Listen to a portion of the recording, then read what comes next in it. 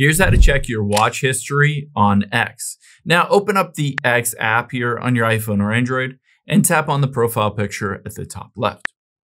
After you've done that, all you need to do is scroll down and you're gonna tap on settings and privacy towards the bottom. And from here, tap on your account at the very top.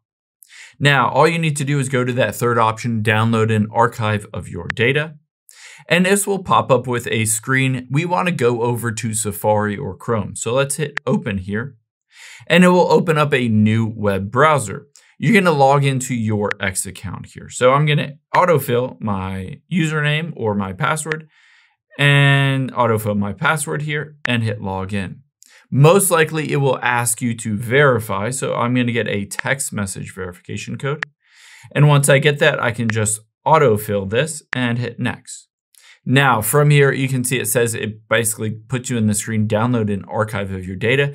I've already requested it, but you can just tap on request the archive. This will allow you to download all of that data onto your iPhone or Android, and then you can just swipe down and open up the Files app here on your iPhone or Android and see that entire watch history.